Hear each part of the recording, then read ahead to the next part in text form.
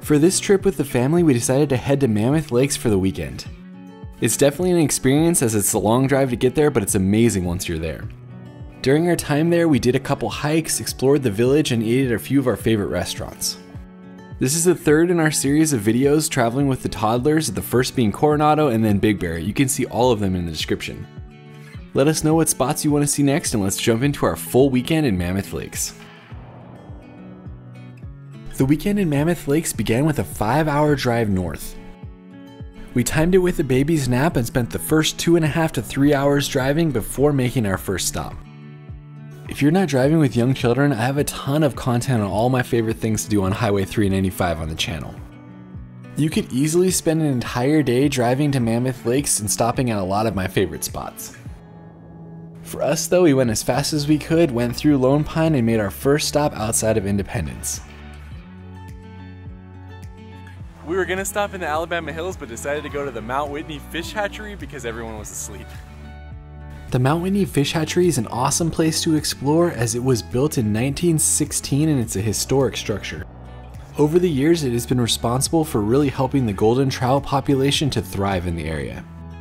The property is open to visitors throughout the day and you can walk around the lake and just relax. Some days the museum is open as well, but it wasn't open when we went. This is a fantastic area for families. There's a nice trail, you can pay a quarter to get fish food. Just a cool place to explore. Getting some food to feed the fish.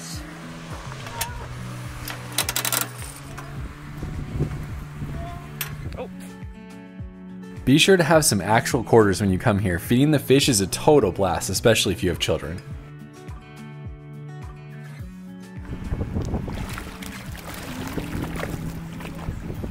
Saying goodbye to the fish hatchery and we're heading to Bishop to get coffee.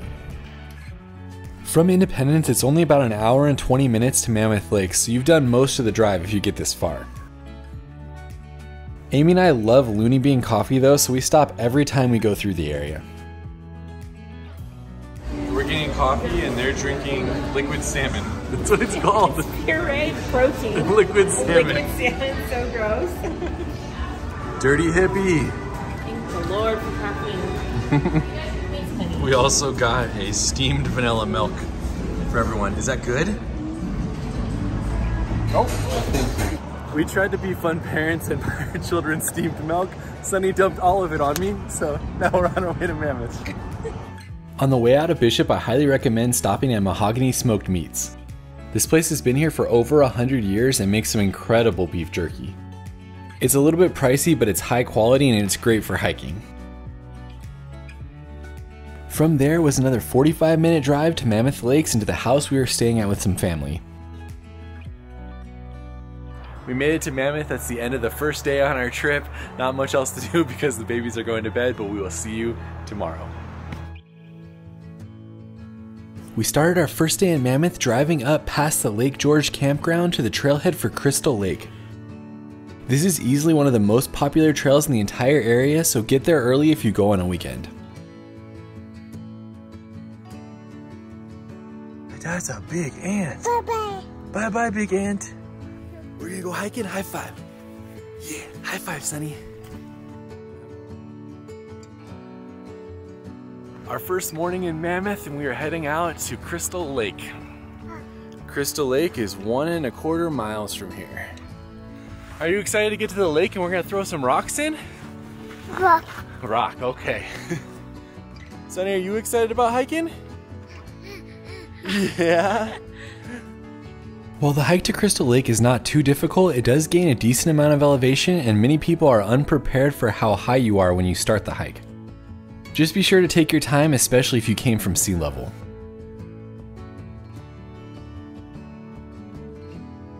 Whenever you're hiking with toddlers, you gotta find something to entertain them, so touching trees is a good option. So is counting rocks. Continuing to head uphill, pretty soon we're gonna get some amazing views of the lake down below. As you start to gain elevation, Lake George will begin to peek through the trees. So that rock right there, the lake we're going to is right at the base of that. As the trail continues up, there's a decent amount of shade, which is nice for those hot summer days.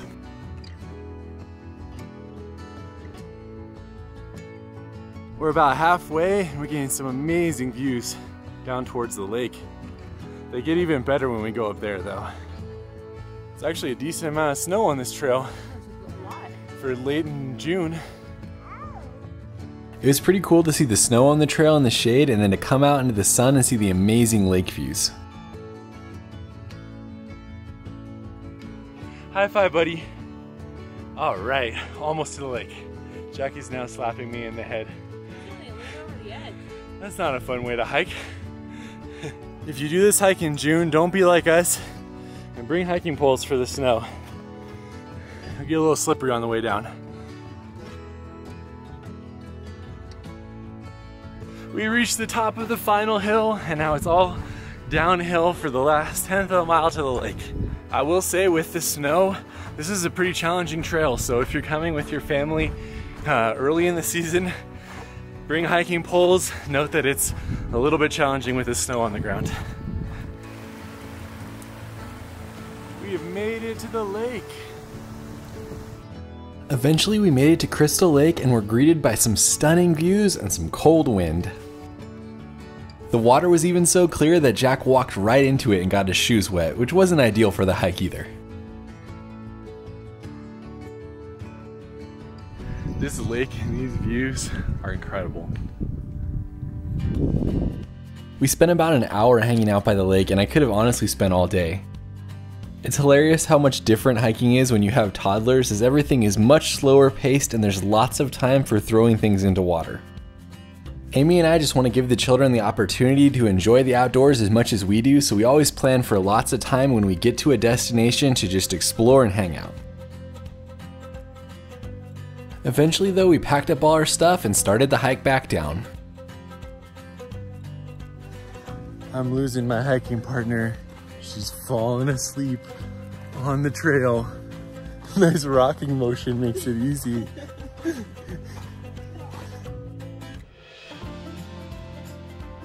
Family went back to the house to relax. I'm at Schat's getting sandwiches for lunch. Schat's Bakery is basically a Highway 395 institution with the main one being in Bishop. This one's just as good though, and it's a great place to get a sandwich. Be sure to get the sheep herder bread though. Don't tell my family that they gave me a free cookie too. It's the dad tax. So I gotta get gas, and this is the cheapest in town. 709. That's insane. Babies are napping and the grandparents are watching them, so we're getting a coffee.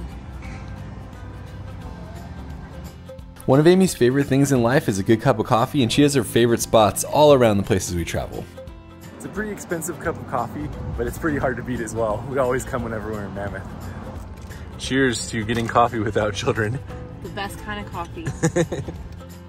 After naps were over, we decided to go out on another easy trail and brought Amy's entire family with us. The trailhead was right next to Horseshoe Lakes and there was a lot of parking.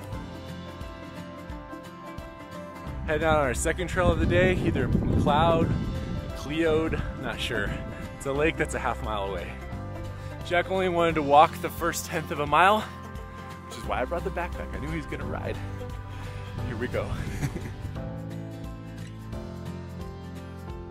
uh, now it says McLeod. It had an E in the last thing. McLeod Lake. I still have no idea whether this is McLeod or McLeod as I saw signs for both ways, so let me know if you know in the comments. This is a fantastic family friendly trail as the payoff is just incredible at the end and it's only one mile round trip with about 300 feet of elevation gain. Basically the highlight of this trail so far is that we've seen three dogs. We could see all the dogs on the way up. That would be a good trail. Dog dog, yeah. Little bit of snow on the trail in late June. Easy to go around though. Like the sign's back to McLeod Lake again. I don't know what it's called, but it's right there. When you finally make it to the lake, you can add a mile to the trail if you'd like and go around the entire thing. For us though, we just hung out on the beach, threw rocks in, and enjoyed the beautiful views. I have to say, this is an incredible lake. It might even be better than the one we saw this morning. It's stunning to see something so beautiful with so little effort.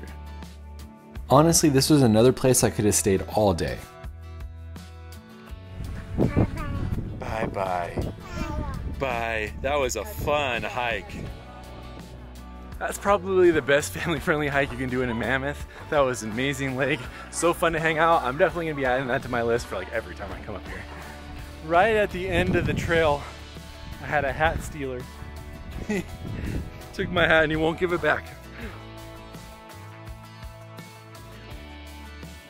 We're heading to an early dinner at the Mammoth Brewing Company, one of my favorite spots in town.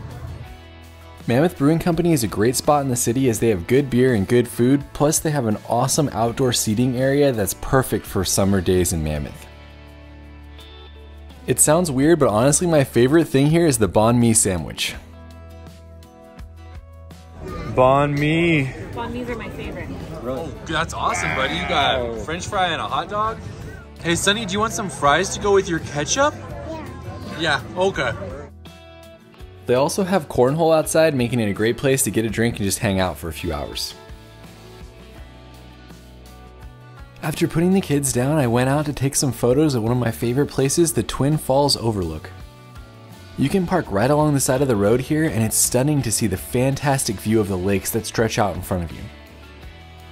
It's a great place to go later in the day and to take some pictures, and that was the end of our first day in Mammoth. Day two in Mammoth. There's actually not a lot of stuff to do here with toddlers other than outdoor activities, and we did a lot of those yesterday. So we're gonna keep it easy today, get some donuts this morning, hang out in the village, and then head out in the early afternoon. Sunny, what are we getting right now? I'm happy to say that my children are just as excited about donuts as I am, and we went to Mammoth Coffee Roasting Company to get some. I had never been to this spot before, but it ended up being a great place for coffee and donuts, plus the people there were super nice. Definitely check it out if you're looking for a fun breakfast in town. After breakfast, we decided to head up to Twin Lakes and explore a little bit since we're going to be spending a lot of time in the car this afternoon. It's very windy, but everybody want to get outside for a few minutes, so we're at the lake to hang out. It ended up being incredibly windy, so we didn't last long, but it was still a beautiful area to explore. This is another place I hadn't really spent any time at in Mammoth, and so I'm sure I'll come back here on my next trip. We are heading in to the Mammoth Village to hang out, explore, maybe get a little ice cream. After naps, lunch, and more boring stuff at the house, we headed into the Mammoth Lakes Village for our last stop on the trip. There isn't really a lot for kids to do here, but it's still a fun area to run around and explore.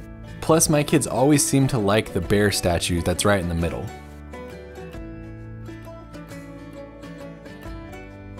There is a toy store that has a lot of fun things for kids and it's definitely worth seeing, but like most things in Mammoth, it can be pretty expensive. For our last order of business, we went to Hugs Ice Cream to grab a scoop for all of us to share before starting the long drive home. You gonna get your own scoop? Okay. All right. Mm. I don't think you got anything, buddy. That's a good end to our time in a windy day in Mammoth, huh, Jack? And just like that, our time in Mammoth is done. We're gonna head back to Southern California. Thanks for exploring with us. We will see you on the next one. Bye bye. All right.